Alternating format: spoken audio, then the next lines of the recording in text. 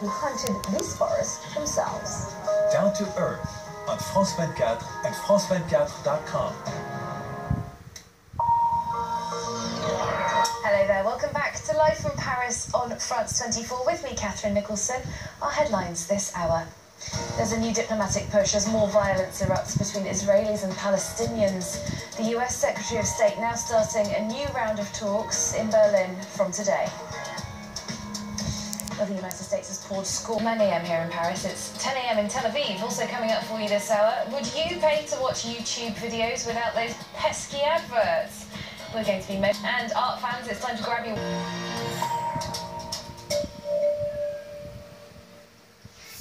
First then, violence continuing in Israel and the Palestinian territories despite a diplomatic push now involving the head of the United Nations and the US Secretary of State. A new stabbing's been reported in the last few hours this Thursday. Police saying two assailants have been, quote, neutralised. John Kerry is now in Berlin, where he will meet the Israeli Prime Minister later on. He's also due to meet the Palestinian Authority President at the weekend. Well, Wednesday saw several new attacks, including stabbings and people being rammed by cars. Our correspondent Irris Makler with the latest.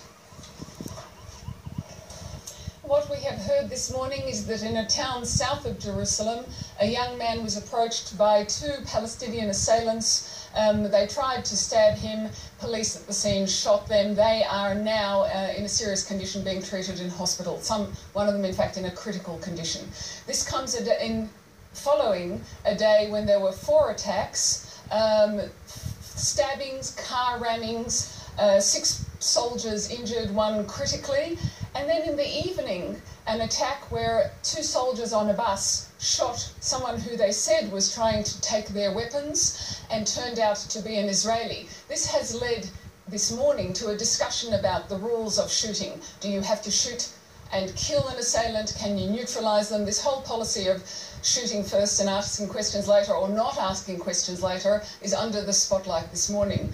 And a personal observation, I have to say I was here during the second intifada and people are more tense now than they were then. Uh, Israelis are afraid that every Palestinian they see will take out a knife and stab them, and Palestinians are afraid that every Israeli they see will simply take out a gun and shoot them. People are more tense now than I have seen them um, at any stage, actually when we can bring you footage now of a vigil that's been held in Tel Aviv for the Eritrean man who was mistaken for an attacker at the weekend. Habtom Zarhum shot and severely beaten by bystanders. He later died of his injuries. Well, hundreds of his fellow Eritreans gathered